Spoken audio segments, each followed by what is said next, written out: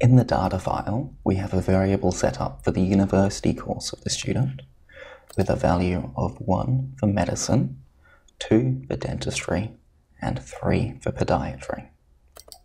We have a variable for their stress scores at the start of the year and another for their stress scores at the end of the year. If I swap over to the data view, I can see that the first participant was studying medicine and had a stress score of 14 at the start of the year and a score of 29 at the end of the year.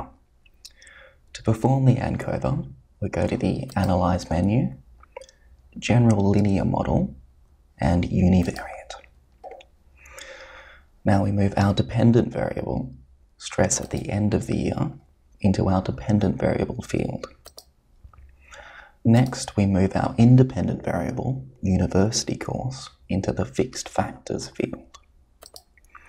Finally, we move the covariate stress at the start of the year, into the covariates field. We, next, we open up the model dialog and we make sure that full factorial is selected in the specify model field.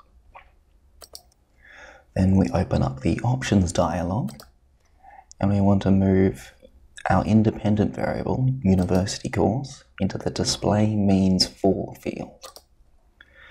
Then we select compare main effects and in the confidence interval adjustment dropdown we select Bonferroni. In the display field we want to select descriptive statistics, estimates of effect size, observed power, and homogeneity tests. Click Continue to close the dialog and OK to run the ANOVA.